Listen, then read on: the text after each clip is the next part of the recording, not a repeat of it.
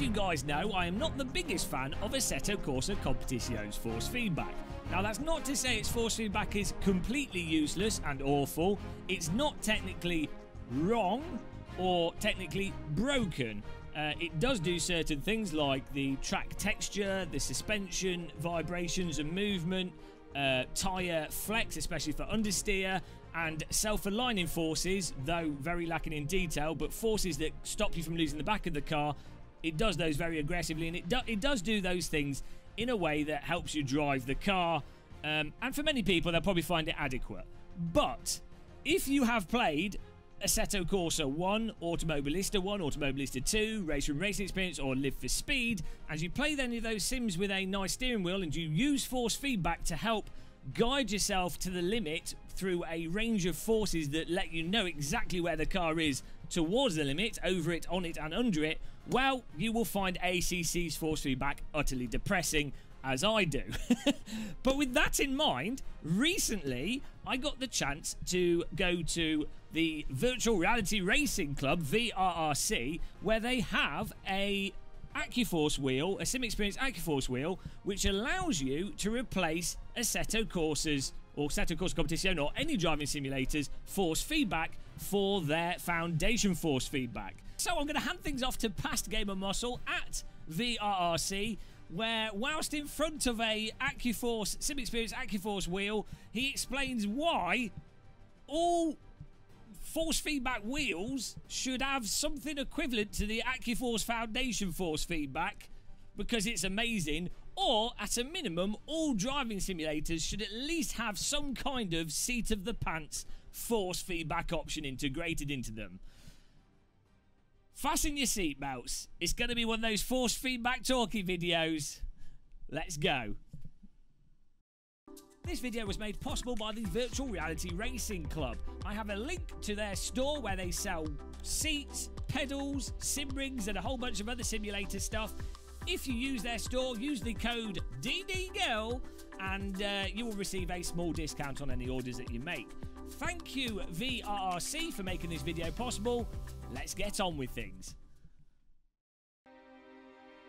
One of the awesome things with the AccuForce wheels, and perhaps the best thing with the AccuForce wheels is that you not only can use the game's force feedback or whatever the whatever sim you're playing's default force feedback is. So right now, I am driving using Assetto Corsa Competizione's force feedback. This basically feels very similar to how it feels like on my Fanatec Podium DD, my OSW, or when I've played ACC with a CSL Elite. This is Assetto Corsa Competizione Force Feedback. Not only can you do that, but you can go to the SimXperience software, which I've got on the screen on the left here, and you can disable the game force feedback and you can do things like use foundation force feedback, which for those of you that don't know, basically takes the game's telemetry and generates force feedback from that telemetry, allowing SimXperience to generate force feedback, meaning that you're no longer hostage or beholden to the developers' completely arbitrary and in the case of ACC's somewhat bizarre force feedback choices.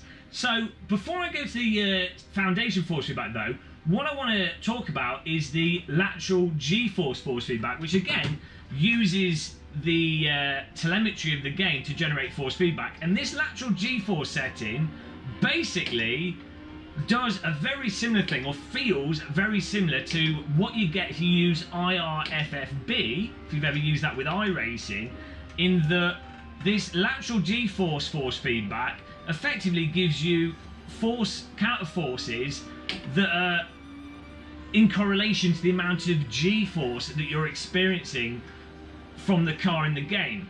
And really interestingly, as I say, this feels very similar to the seat of the pants setting for IRFFB, which utterly transforms iRacing, um, and allows you with ACC to immediately get a much better sense of immersion, a much better sense of how much load you're driving the car through the corners, how aggressively you're driving the car through the corners. Um, with the, this gets rid of all other force feedback. So all I can feel here is literally uh, like a G-force force feedback that correlates to how much G-load I'm putting on, as I say. Uh, this actually gives you force feedback that's very similar to uh, Live for Speed's force feedback, which I think is basically it is actually just seat of the pants force feedback. It's G-force load-based force feedback rather than uh, specific tyre stuff, I believe. But I, I have to say, just this G-force thing, from the scent, from the aspect of if you're someone that uses force feedback to drive from, this is actually, in my opinion, for the most part, better than the default ACC force feedback. Um, I've been very fortunate in that recently I've been able to drive an Ariel Atom, and then of course earlier, a month or so ago, I drove a uh, Toyota Celica uh, race prepped car, and the G-forces in real life, you drive a car based off the G-forces, based off what you're feeling through your bottom, rather than what's necessarily coming through the steering wheel. A steering wheel in real life does self-align. You do get information from the steering wheel in terms of uh, it does get lighter when the front's under steering. There are there is a lot of subtle information that does come through a real steering wheel, but the bulk of what you use to actually balance a car and drive it faster and, and have an expectation for what's going to go on comes through your bottom in a real car. So having a G-force like uh, abstraction that puts that through a DD wheel is vital. It's so good, and it's what makes a driving simulator, for me, actually line up to to reality. It, it, it makes it make sense.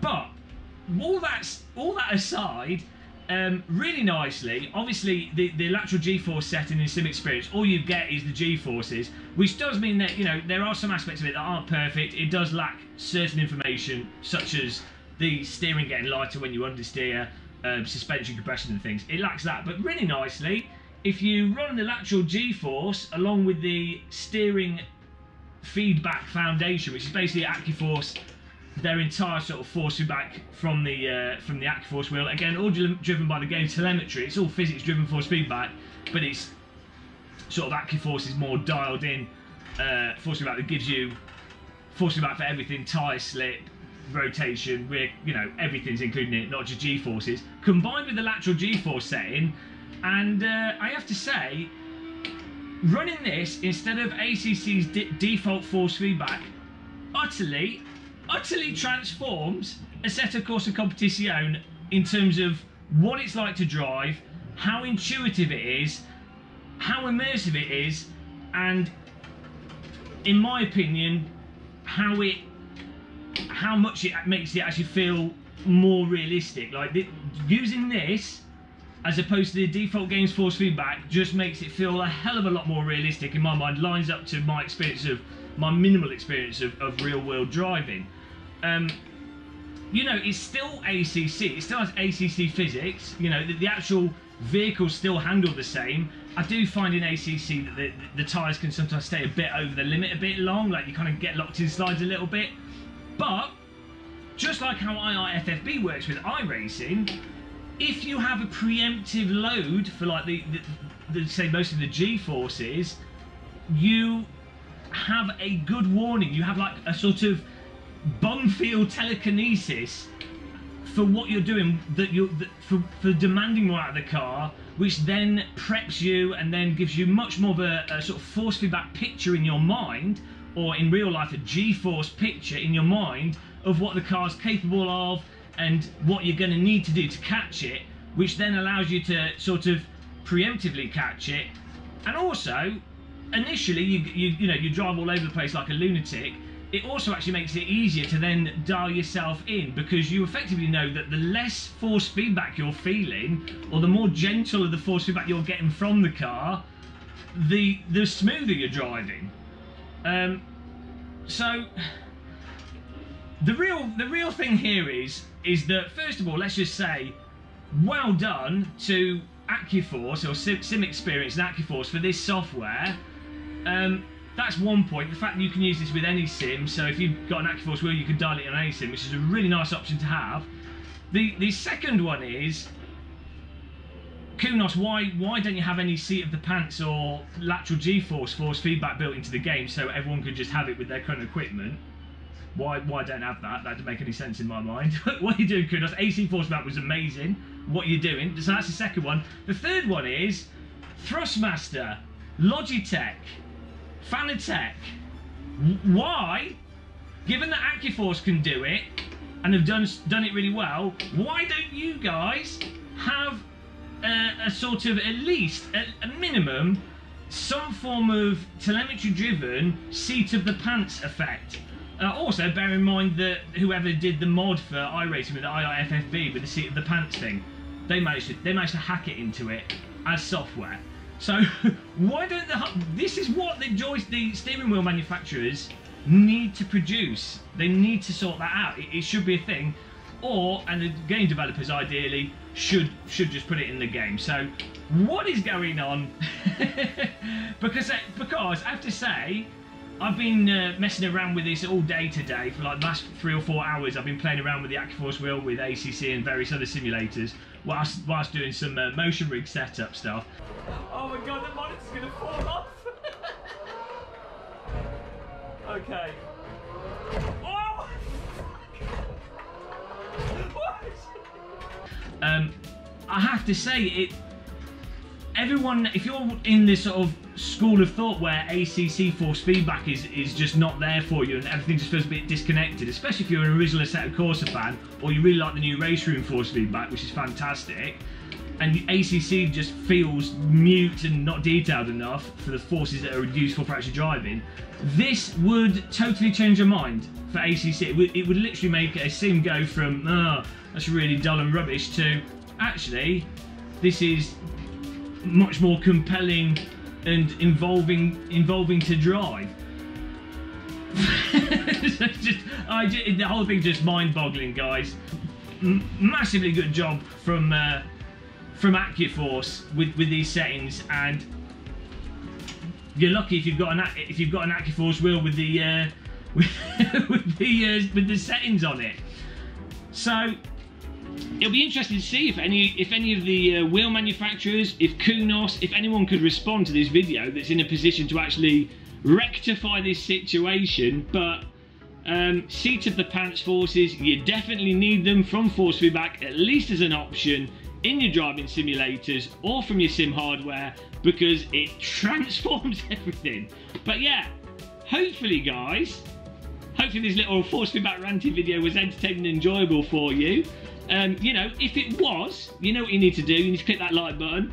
You need to subscribe. You need to hit the bell and uh, leave a comment with what you think from this. But until the next one, happy tea drinking and goodbye everyone.